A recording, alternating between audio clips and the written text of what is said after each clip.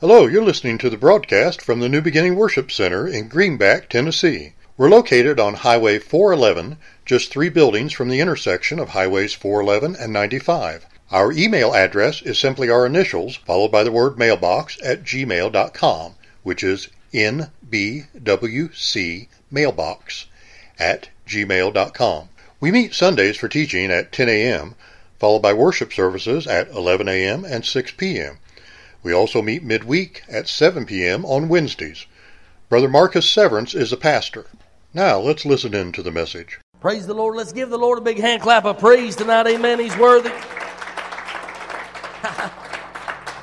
Amen. It's good to be in the house of the Lord. You know, uh, God, I just love how God just just comes into this place and speaks to us, Gary and God, and, and He comes in here. We just let God be God. Amen. That, that's the biggest thing. Uh, a lot of people will be like, "Man, what's going on in there?" Amen. That's a crazy bunch of people. I tell you what, right now, I'd rather be thought as a crazy bunch of people, but on my way to heaven, amen, uh, as on my way to hell, sitting in a church pew cold and indifferent towards God, amen.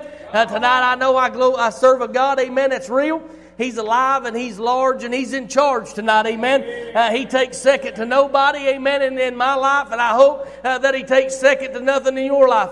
Uh, God has been speaking to me the last few days uh, uh, about the mark, and I really didn't understand until Kimberly brought a book into me today, and she said, Somebody handed me this book, and right on the front of it, it said the mark, and it was talking about the mark of the beast. But what God had been speaking to me about the mark, uh, what are you aiming for? Amen. What are you doing in this life? Just like Sister Jewel, we all say that we want a deeper, closer walk with God. Uh, but when the rubber meets the road, we say, now, wait a minute, God. Now, I just don't know about all that. Uh, just like whenever uh, uh, uh Christian, that skit she's got that talks about that guy uh, wanting him to come in there and make him and mold him, and God walks in there with a chisel and he sets it on his arm and he's fixed to hit it with a hammer, and he said, now, wait a minute.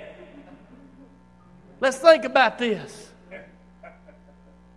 or Mark. What do we? I, I, began to ponder on Brother Gillis what he was talking about. Uh, that Paul, when he talked about that mark that he was pressing toward, what what are we pressing toward? Are we pressing toward a nicer vehicle? Are we pressing toward worldly fame? Are we pressing toward uh, uh things that the world says that we need? Are we pressing toward uh, that uh, that mark? Amen. Are we pressing toward uh, seeing heaven as our home? What are we pressing for? Paul said, "I press toward the mark." Of the high calling that is in Christ Jesus. Amen. The mark that's in the, the, the, the, the mark that's uh, the high calling in, in Christ Jesus tonight. What are you pressing for? You trying to make you you putting on the facade? You you putting on something? Putting on uh, tight that tie just a little bit tighter, uh, polish them shoes just a little bit. Who are you trying to impress tonight? Who, who, who are you putting on? Who, who are you who are you putting on a show for, young people?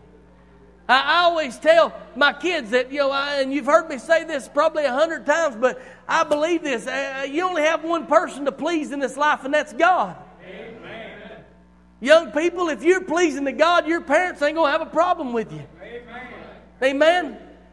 I, I, learned that kind of the hard way. They, they was playing a song down there uh, whenever I went to that football game the other night. It always brings back a memory. That, that song that's playing by ACDC, that's playing, it said Hell's Bells. I remember sitting right beside my, my brother, and I had the headphones on, and I was just young. I was probably eight, nine years old, and I had them headphones on, and that, that dong started coming on in them earphones. And I started singing that song out loud. You know, I don't have but one person to please in this life, but I tell you right now, I had a mama that lined my brakes if I needed it. And I began to sing that song.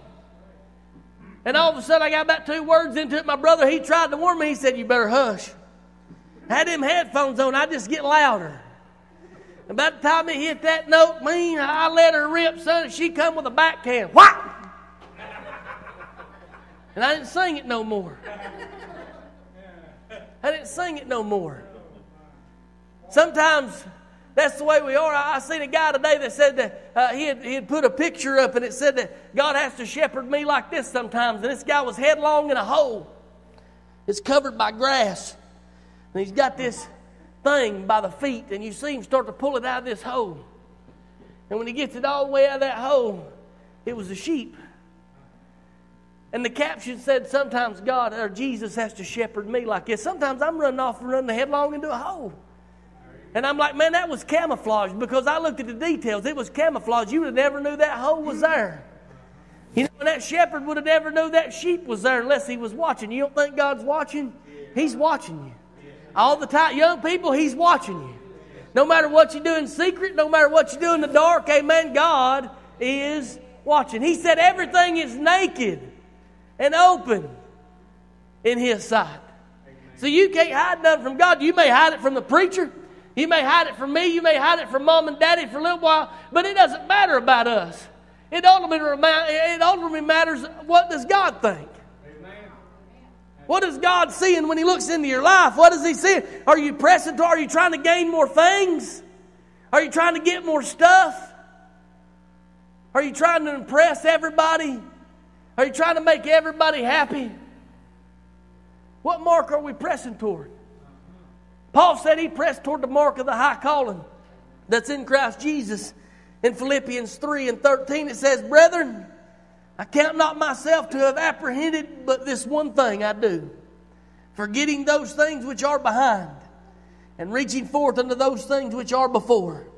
I press toward the mark for the prize of the high calling of God in Christ Jesus. I began to sit in here and think the other night, Brother Marcus, when you said that, if there be one, if there be one, the most important thing that I think that I can do in my life is to take somebody else to heaven with me.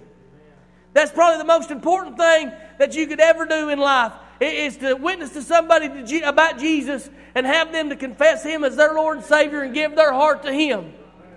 I think that would be the most important thing that you would ever gain is winning somebody else to Christ.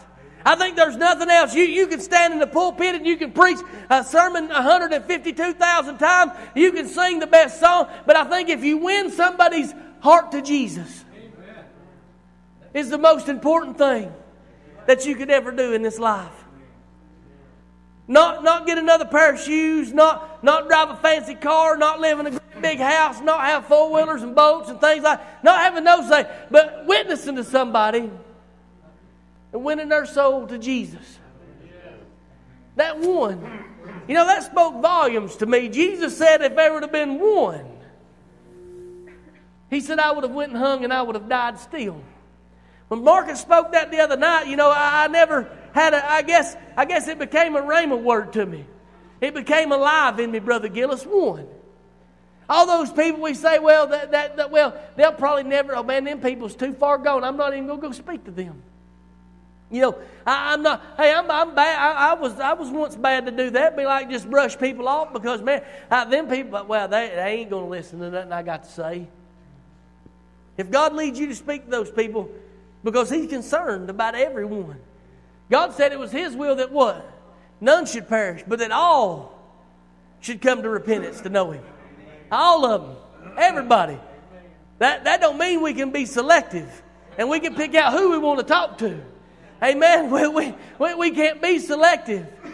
And we can't say, well, I think I'll go here today or I'll go there. If God leads you, just like Jonah when he led him to Nineveh, he didn't want to go to Nineveh. You know why he didn't want to go? Because he didn't think those people deserved the mercy of God. He didn't think those people deserved what God had for them.